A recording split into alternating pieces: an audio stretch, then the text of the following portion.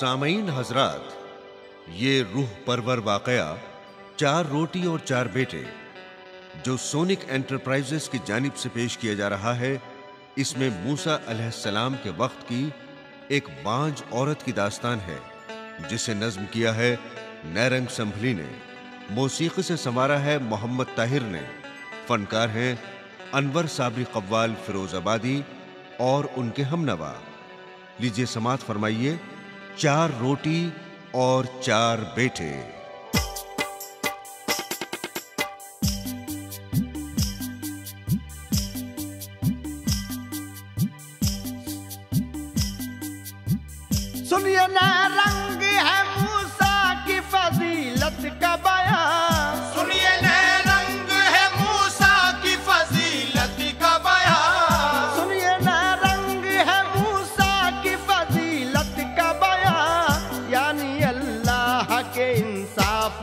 अजमत का बयान।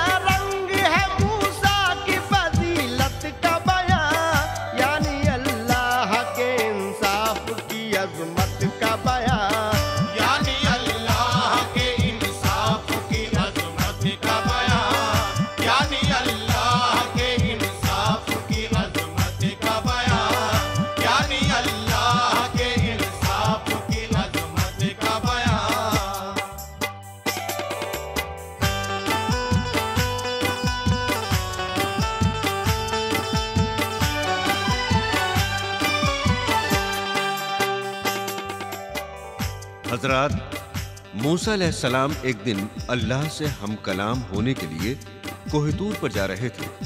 रास्ते में उन्हें एक औरत मिली। उसने कहा, ए अल्लाह के नबी, मेरी गोद एक मुद्दत से खाली है। मेरे कोई औलाद अब तक नहीं हुई। आगे क्या होता है? समात फरमाएँ। मूसा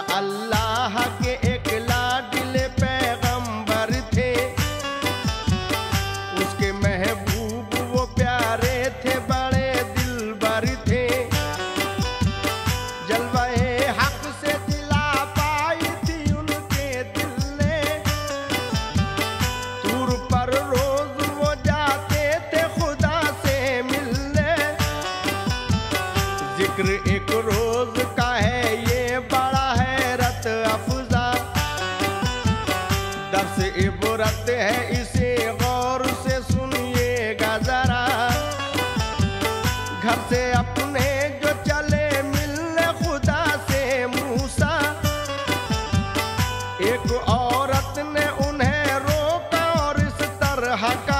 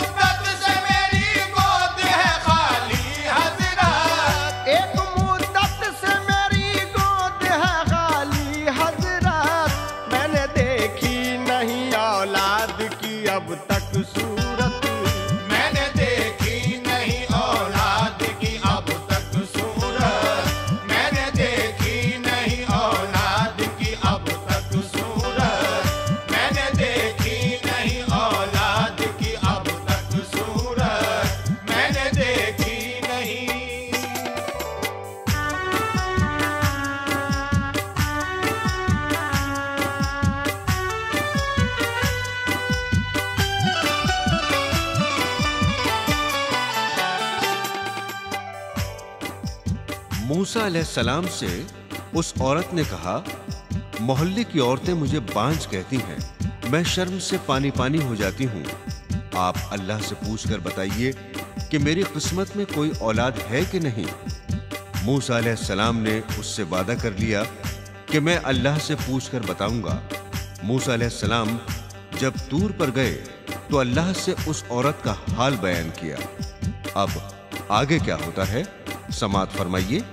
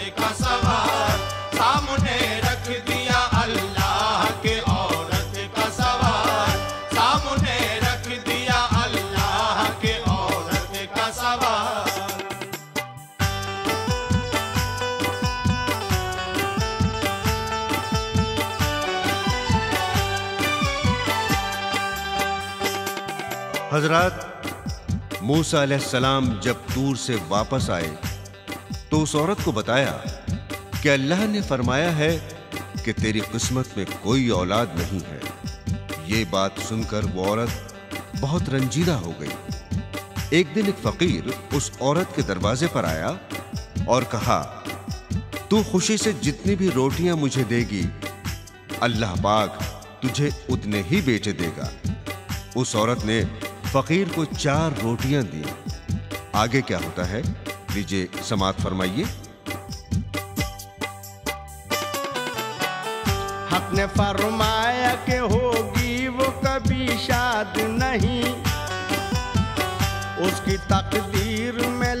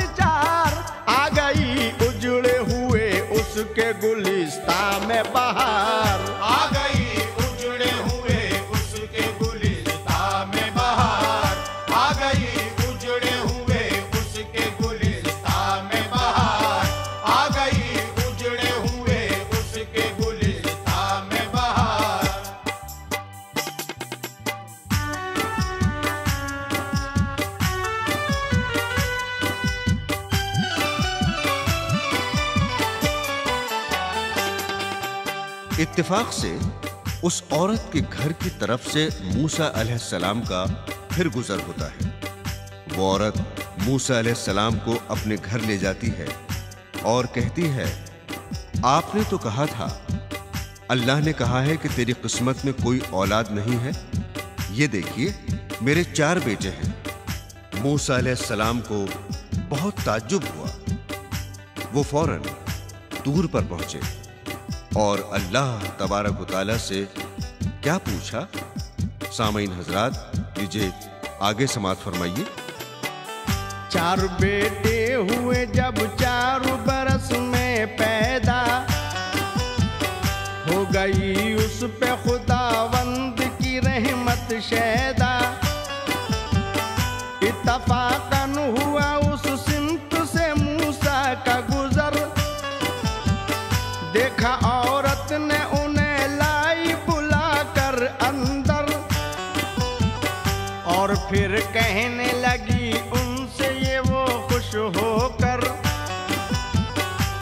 close.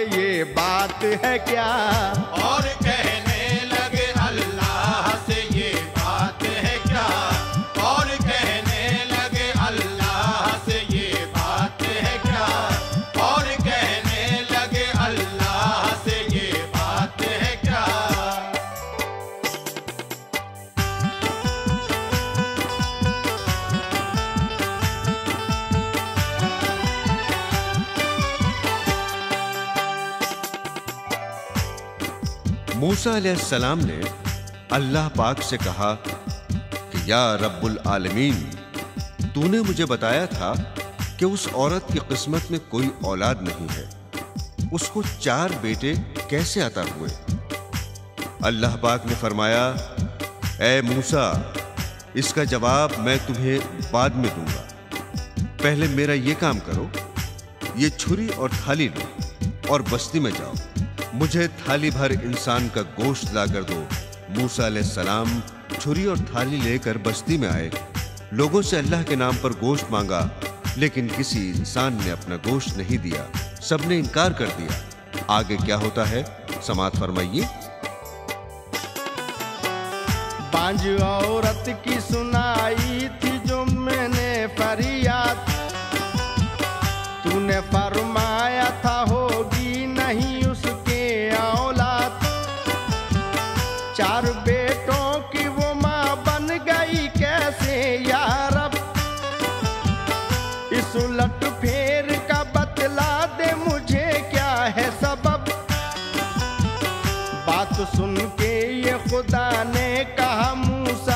मूसा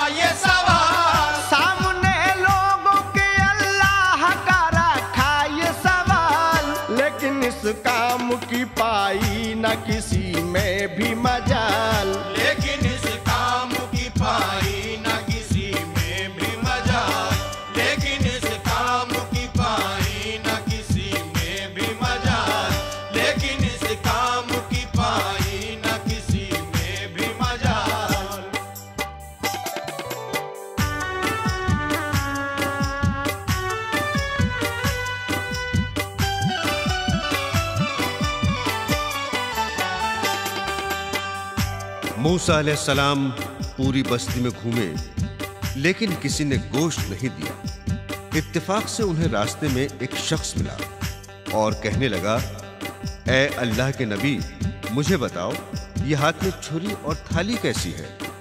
मूसा सलाम ने सारी बात बता दी। उस शख्स ने अपने जिस्म के हर हिस्से का गोश्त काटकर थाली भर दी और कहा, ले जाओ।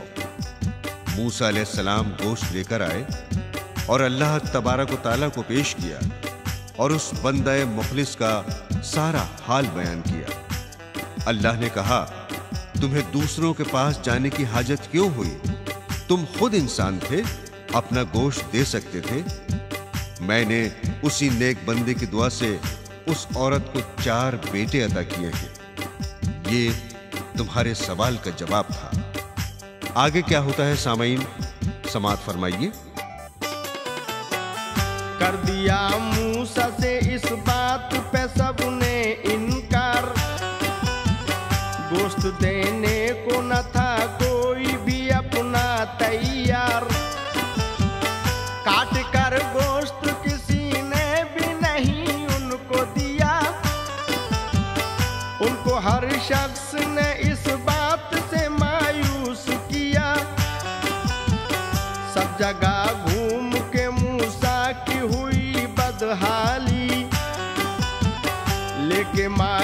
मायूसी से वापस हुए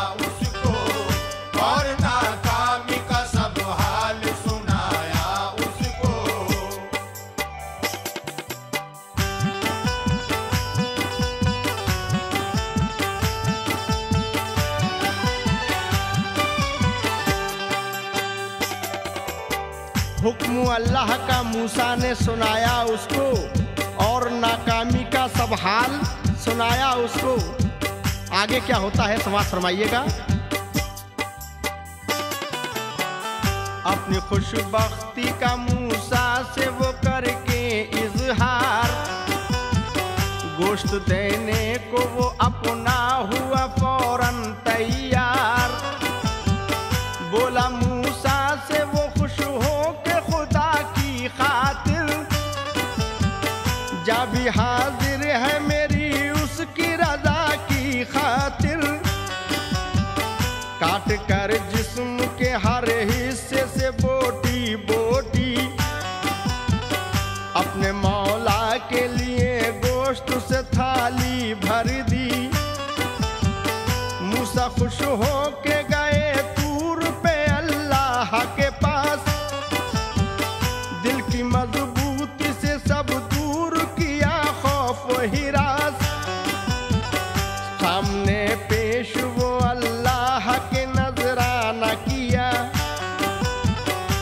किस्सा उस बंदा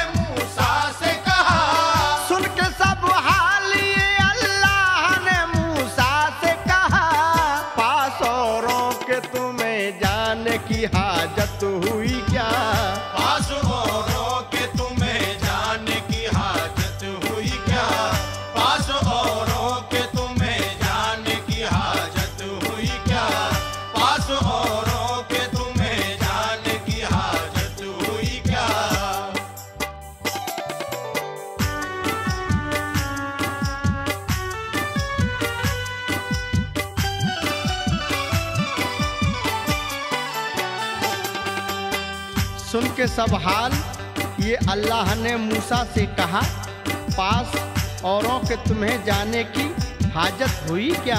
आगे क्या होता है? सवाल सुनाइएगा। तुम भी इंसान थे, इस काम को कर सकते थे। अपने ही गोश्त से इस थाली को भर सकते थे। जिसने ये